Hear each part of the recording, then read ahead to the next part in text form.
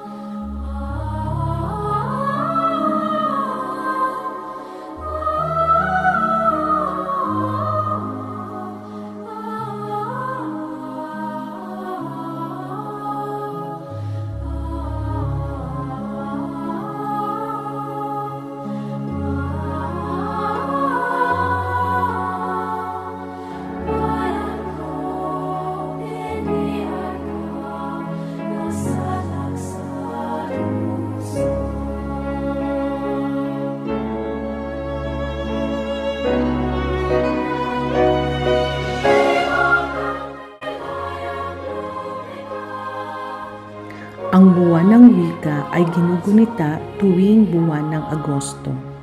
Ito ay ginagawa upang alalahanin ang kasaysayan, kilalanin, panatilihin at paunlarin ang wikang Filipino. Ginagawa ito bilang pagsaludo at pagmamahal sa Pilipinas.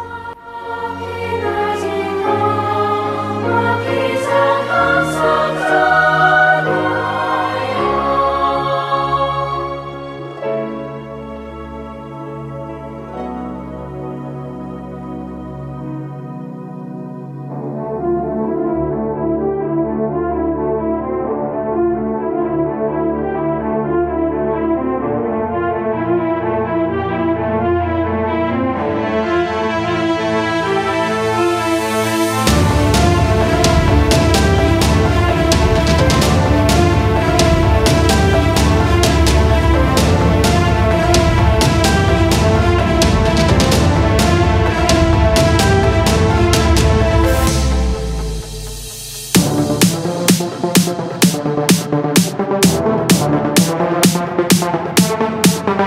you.